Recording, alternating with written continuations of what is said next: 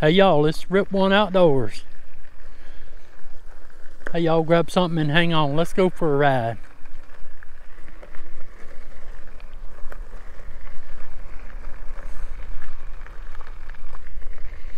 Let's get everything settled here.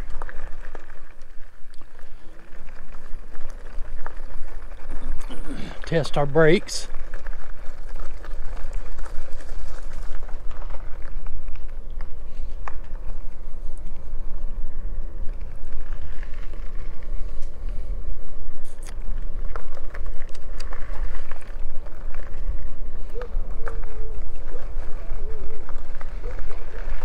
All right, we can get through these bunch of skillet licking dogs.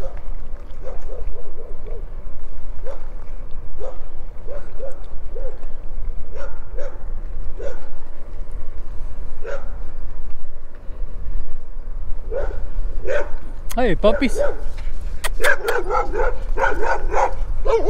Hey, poop. Bark, bark, bark. Bark, bark, bark.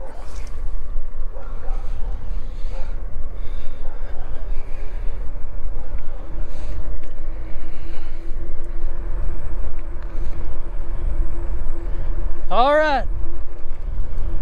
Riding with the Ripper here.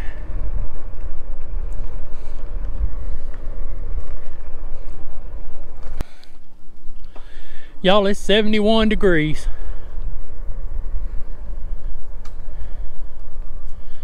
Here in South Mississippi. It's the Wednesday before Thanksgiving. And it's the afternoon. It is 253. 71 degrees. I tell you what, I'm not rubbing it in, I promise you. But I'm so thankful how this beautiful weather. We're gonna get out and take a ride.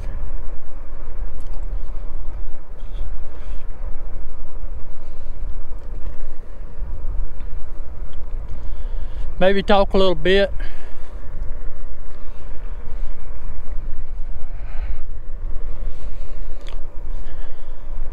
I'm trying out some new brakes. Uh, as part of the, y'all heard me talk on a previous video about, y'all heard me talk about the uh, uh, pictures that I took for Magicycle and is in payback for that. Uh, I was given some accessories. One of the accessories was hydraulic brakes for my Magicycle Cruiser. And I installed them Saturday, this past Saturday, because the weather was so bad, it was raining. And haven't had a chance to use them. Wife and I went on a little small vacation. I guess it's more or less just a run up to Tennessee. Wanted to pick up some Christmas gifts that you can only find in a certain location in Tennessee. And that was at the Amish farms in Ethridge, Tennessee, just north of uh, Lawrenceburg. So we went up there for a day or so and made it back. And I'm getting a chance today to go out and, and try out my brakes that I put on. Shout out to uh, Bruce Hicks. I'll put his put his name, what have you here. I'm gonna put uh, I'm gonna put his a link to him, his channel down in the description. But he provided the instructions on how to put the brakes on. It was a flawless operation. Didn't hey, didn't take me too long. Maybe I guess if you you totaled the time that I worked on it, other than the time I wasn't doing something else. I mean, I must have spent an hour working on them because his instructions were so clear and concise that I didn't have anything to worry about.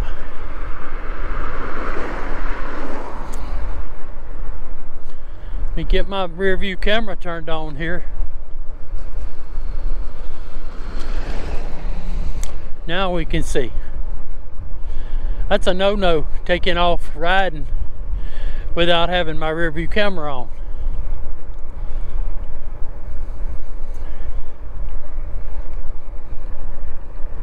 So anyway, Bruce, he had done some of the brakes and I'm sorry, Bruce, that I didn't record them. To tell the truth, I'm just getting into recording things like that. Uh, anything other than the rides, ride along, the ride alongs are easy. I just punch the camera and let her rip. But something like that, I didn't have anybody to help me hold the camera for me. Uh, probably had to use my iPhone and it was filled up with stuff. I had to delete a bunch of stuff off it. So anyway, take on a project like that again, I will record it. But thank you, Bruce, for the for the help and the, and the know-how that you provide for fellows like myself and others like like me and we take on projects like that I told him I had him in the room with me but I just didn't have to feed him because I had him going on my desktop. I had brought my my uh, Magicycle Cruiser up in the up in my uh, hobby room and that's where I was working on them at.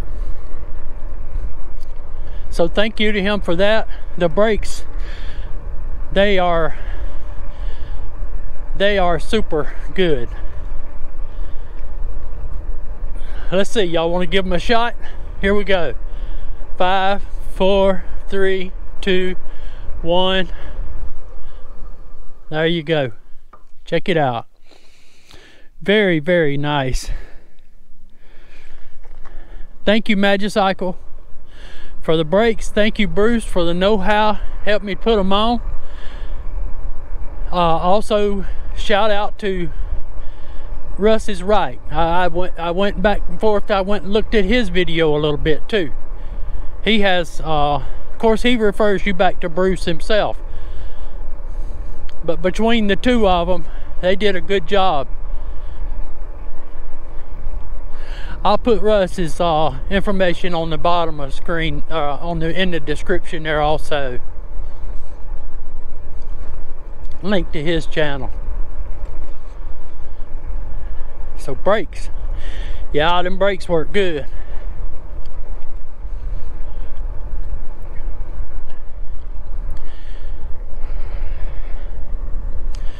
Get my camera. Make sure my camera's got the right angle. Maybe that's better. If it ain't, then I'll see it and know better next time. But we had a new video come out today. And it was uh it was showing some riding that I did down in the uh over in the dirt pits right down the road there. So if y'all haven't caught that yet, make sure you watch that. I hope y'all enjoy that wasn't anything special. Look, this thing can handle a lot, I can tell you. And there wasn't much in that dirt pit that could pose any any sort of a challenge to it.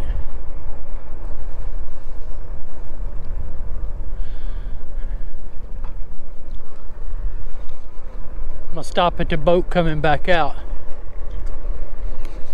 But there was not much to stop it. I mean, yeah, some little small hills in there. There were some ruts. There were some little small hills wood ruts, rough territory, uh, some bumpy stuff. Hey, this thing, this thing didn't have any problem with that. You would have to go. You would have to go and find something that was that would pose a bigger challenge to find something that it would even remotely come close to slowing this thing down or stopping it. I haven't got, there's nothing around here. As we said on the video, this is Mississippi. And I'm gonna say South Mississippi. Because we don't have mountains down here. We don't have hills. If there's a hill down here, it's a man-made hill, such as over at the dirt pits. Coming down along by the cow pen here. Hopefully y'all can see how, how pretty it is. Not a cloud in the sky.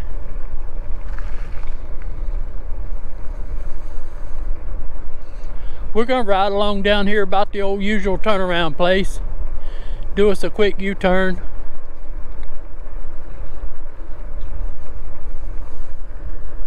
Then come on back out.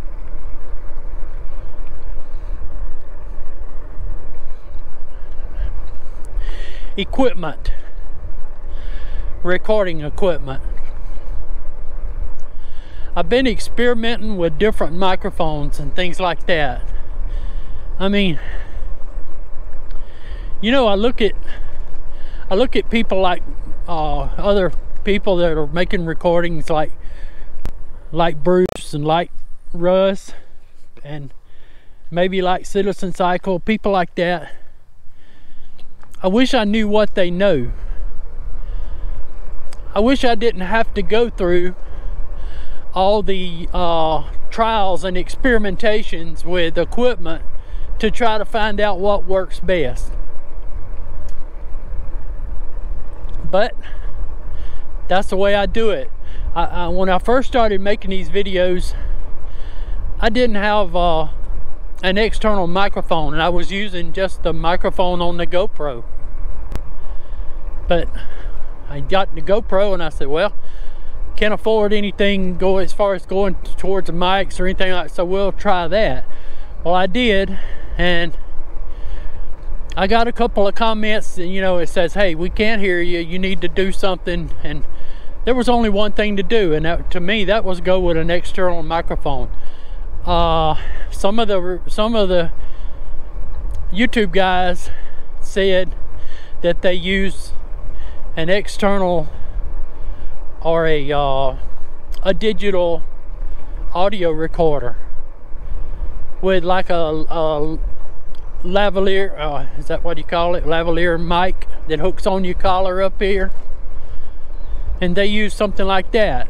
And they would even run a mic that was hooked up by their helmet up there somehow.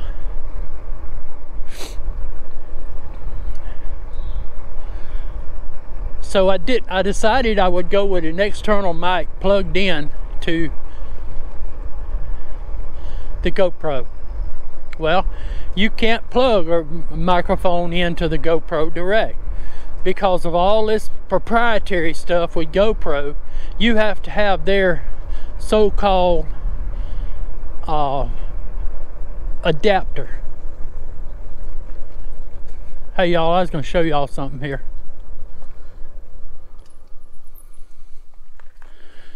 This old boat here. This is the Edmund Fitzgerald. I bet y'all didn't know that. You heard that old song by the wreck of the Edmund Fitzgerald? Well, there you go. It wrecked right here.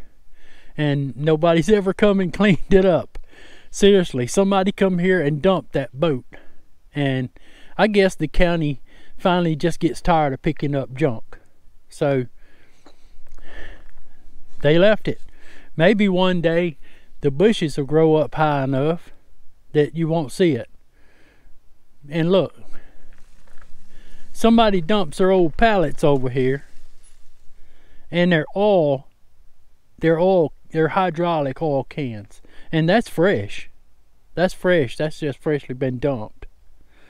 It, it what's the mindset of people that just trash up a place i mean yeah it's ridge road okay these are just old home sites there's no sense in doing stuff like that we used to do things like that when we was youngins, but that was before we knew better.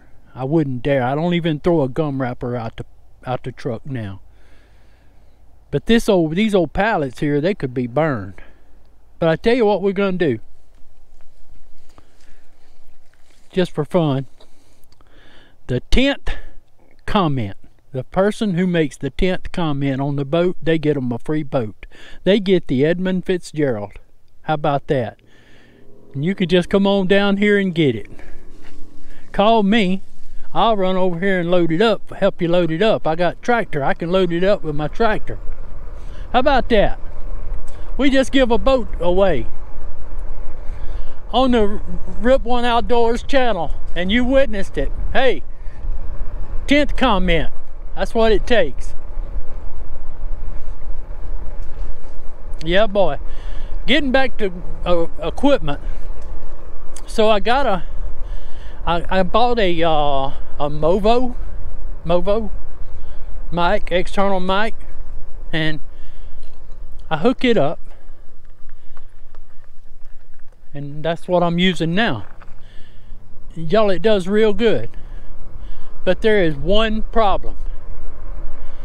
If you don't have that that little uh, if you don't have that little bullet connector or whatever it is there, that little round connector, if you don't have that shoved all the way up in that uh, GoPro adapter, mic adapter, it will not it will not record your audio.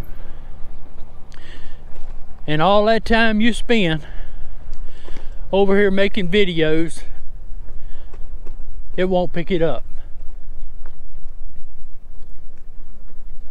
Then, so I tried the Movo. I mean, it does good.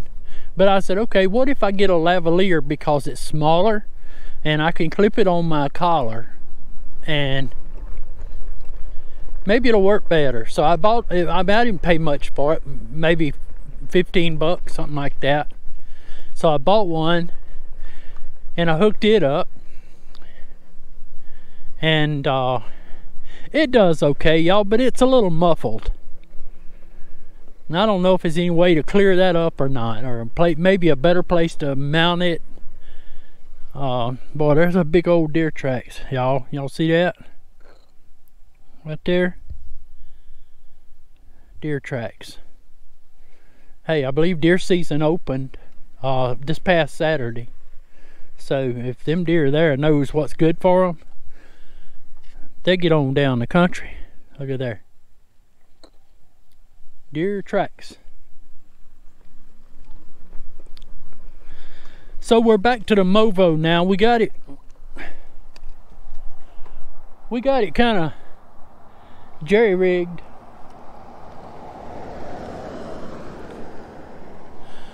we got it kind of jerry rigged on our uh, on our chest mount where we mount our GoPro. I used a we I used to be in uh, remote control airplane. Still still fool with that a little bit. But I do more quadcopter stuff now, drone flying. But I took a a a tail wheel adapter arm and I made me a little thing that comes up up above the uh, maybe when I get back I'll take my cell phone take a picture of it and I'll put it up here for y'all to look at but that's what I use now and it puts this Movo phone a Movo uh, microphone it puts it right under my chin and it's got that old hairy feathery thing or whatever with that rabbit hair I think is what it is or possum hair or coon hair or whatever it is it's got that it's got that on it and I first tried it with something and it was it had that, that hair touching on my chin and I said, eh. I was kind of looking like one of them old hippies that was on the uh, Beverly Hillbillies. So I took that off and I, I, I rigged it up another way. But I, it's what I got going now. I think it sounds good. Y'all let me know how it sounds.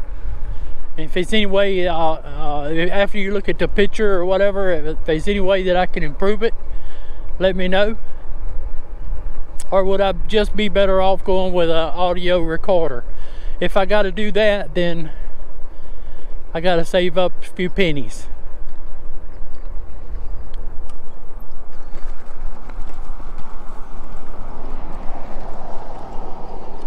There's the other old boat. That's the Minnow.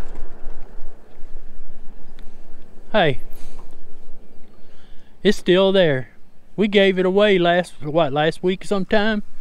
And nobody's ever come and got it. It's still there just go over there and hey put you somebody in the boat and let them paddle it back or put a rope on it drag it back I'm sure the people that own the land will appreciate it.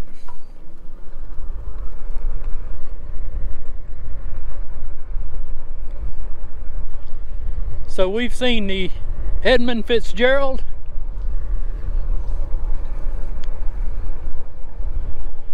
And we've seen the Minnow. Two boats.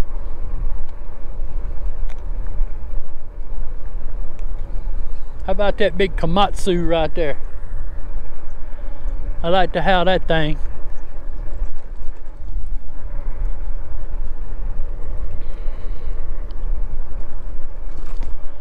So that's my recording equipment that I wanted to tell y'all about. I mean, and like I say, I'm still using a GoPro. I use a GoPro Hero 8.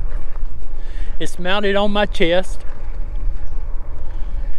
You got to watch out how you mount it on your chest for you newcomers or I, I, see people and I even mentioned it on a man's site and he said he appreciated me telling him that. But I mentioned and I, and I was being constructive about it that he had his camera angle pointed down too far. Yes he could see the dis digital display here and all that was good. You can see that but you could only see about here of the of the uh, the forward view. And I told him I said you know people would appreciate it I think more. I think they would appreciate it more if you if you angled it up a little bit. That's why I have to watch that's why I have to watch y'all. This is rough through here I have to watch sometimes about what my angle is on this on my camera.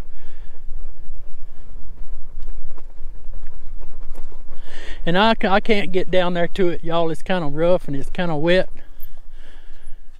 But there's the third boat down there. It's flipped upside down. Hey, what we gonna call that one? We got the Minnow. We got the Edmund Fitzgerald. Was that the Titanic? Is that the Titanic?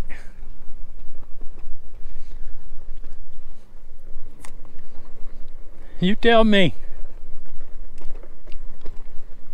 Three boats. Three boats here. And this was son, this was a place to haul off boats there for a while, wasn't it? Hey y'all.